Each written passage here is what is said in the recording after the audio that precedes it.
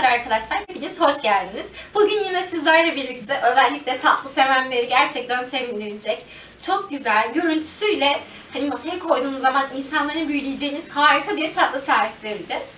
Bugün arkadaşlar sizlerle çok güzel kat kat bal kabaklı tatlımızı yapacağız.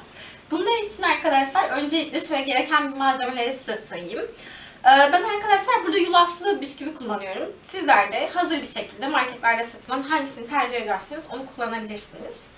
Burada arkadaşlar daha önceden hazırlamış olduğum e, irmik tatlım var. Bu tatlıyı arkadaşlar normal sütlü irmik tatlısı yapıyoruz. Fakat bunu kullanırken içerisine şeker oranını çok çok az kullanıyorsunuz. Ve arkadaşlar e, daha önceden yine hazırlamış olduğum benim kabak tatlım var. İki dilim yeterli olacaktır.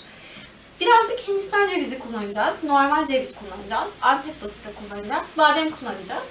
Üzerine arkadaşlar krem şanti kullanacağız. O yüzden krem şanti ve süt gerekiyor. Ee, arkadaşlar bu dediğim gibi görsel olarak gerçekten kat kat çok lezzetli. Hani böyle kabak tatlısı sevmeyen çocuklarımızın yiyebileceği, hatta onların içerisine söyle, kabak olduğunu söylemediğiniz zaman doğru anlamayacakları e, çok lezzetli bir tarif olacak. Hadi yapısına geçelim. Evet arkadaşlar şimdi yapılışına geçmeden önce sizlerle püf noktalarını paylaşmak istedim. Ben bu kabak tatlımı arkadaşlar pişirirken belki aranızda merak edecek arkadaşlar olacaktır. Onlar için şöyle kısa bir brief geçeceğim. Ee, arkadaşlar kabakları ben normal e, pişireceğim tencerenin içerisine koyuyorum. Üzerini örtecek kadar şeker ilave ediyorum. Ve bir gece kadar kabakları şekerde bekletiyorum. Beklettikten sonra ertesi gün arkadaşlar e, normal bir şekilde ocağa koyuyorum e, pişirmeye başlıyorum. Eğer gerekirse çok az su ilave ediyorum ama ben mesela bu kabağımı yaparken hiç su ilave etmedim. Siz de kabak seçiminize göre çünkü her zaman aldığımız kabaklar bir çıkmıyor. Buna göre hani kontrollü bir şekilde ocağı kontrol ederek kabağınızı pişirebilirsiniz. Bunu dedikten sonra arkadaşlar ben ilk önce kabaklarımı şöyle bir kabın içerisine alacağım. Ve arkadaşlar bunları ezmeye başlayacağım. Şöyle alalım.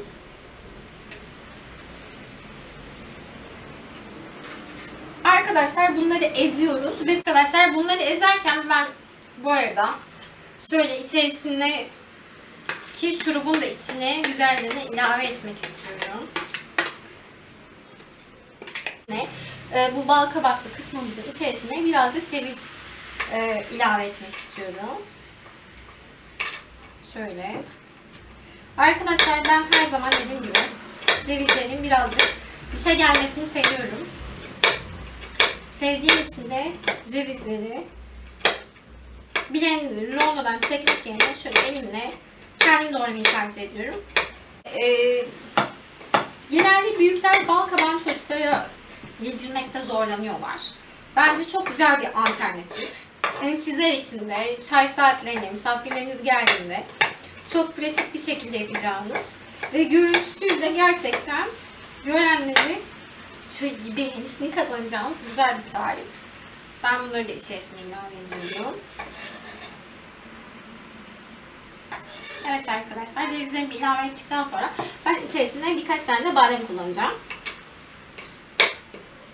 Ben burada çiğ badem kullanıyorum. Çiğ bademi şöyle elimle minik minik doğruyorum. Tabii ki de sizlerin kendi tercihi. Dilerseniz burada arkadaşlar fındık da kullanılabilir. Şöyle bademlerimi de ilave edeyim.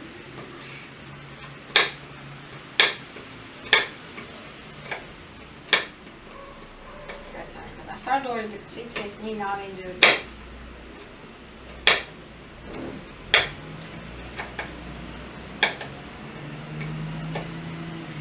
Ya da arkadaşlar burada e, badem unu da kullanılabilir. Ya da fındık unu yine aynı şekilde.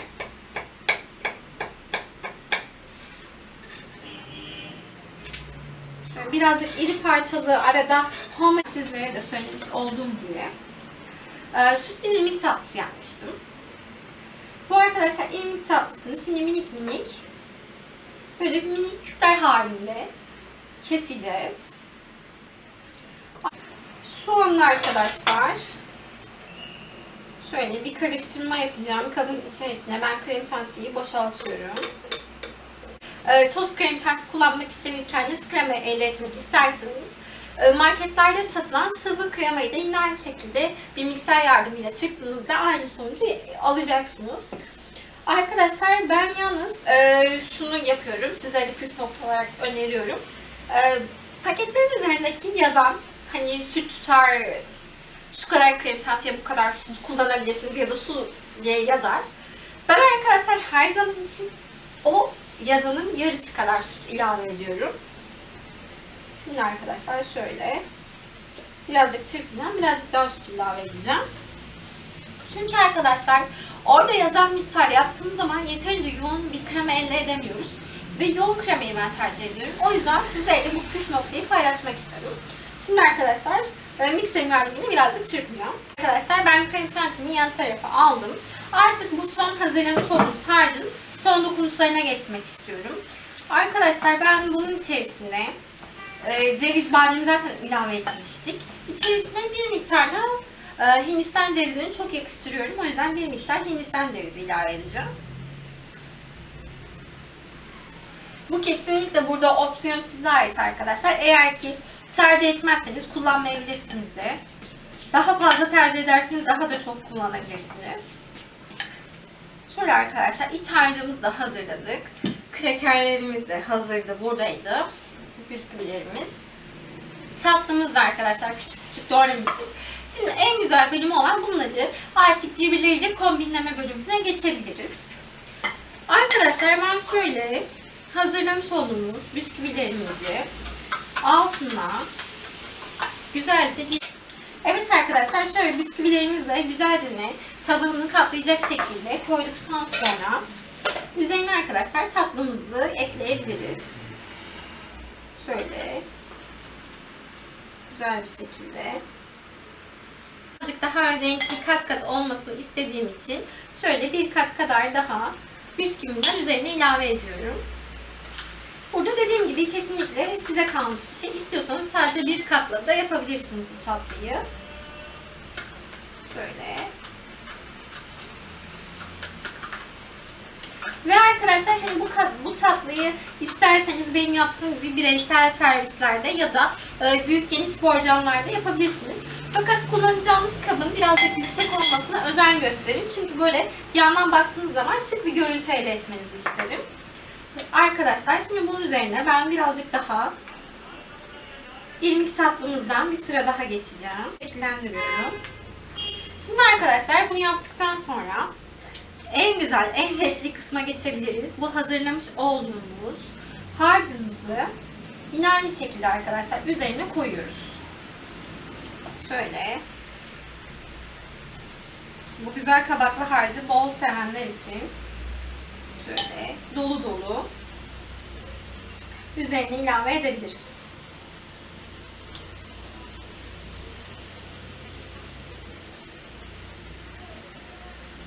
Şöyle arkadaşlar ben daha da ilave edeceğim. Çünkü gerçekten çok güzel oluyor.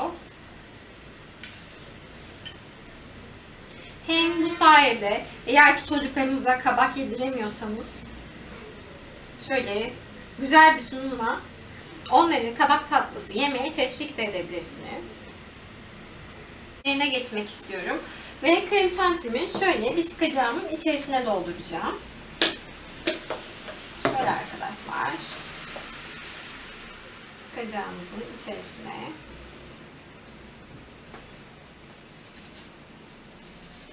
dolduracağım.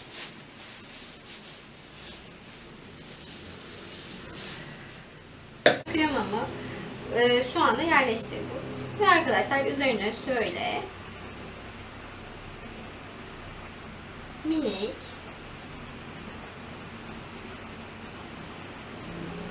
minik süsler yapacağım.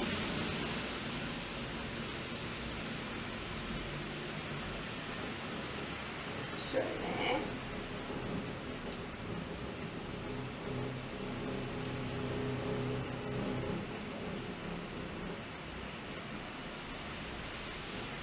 bunun yerlerini doldurmak istiyorum. Evet arkadaşlar kremamızı da şöyle üzerine döktükten sonra, koyduktan sonra son dokunuş gerçekten en zevkli yere geldi. Ben arkadaşlar bunun üzerine böyle minik parçalara bölünmüş, daha doğrusu öğütülmüş antep fıstığını çok yakıştırıyorum. Gerçekten turuncu ile yeşil, beyaz mükemmel bir uyum gösteriyorlar. Şöyle arkadaşlar üzerlerine ben antep fıstığı serpiyorum. Ve arkadaşlar artık pasta tatlımız sunuma hazır. Gerçekten pasta kıvamında pasta gibi şöyle güzel bir kaşığımızla koyalım. Sizlerin daha net görmesi için şöyle birazcık çevireyim. Gördüğünüz gibi kat kat yapması çok zevkli, çok lezzetli ve gerçekten yediğiniz zaman efsane bir şekilde içinizdeki tatlı krizlerine son verecek çok güzel bir tatlı. Ee, Bunu arkadaşlar eğer ki beğendiyseniz aşağıdan beğeni butonundan bizi beğenebilirsiniz. Kanalımıza arkadaşlar abone olarak bizi destekleyebilirsiniz.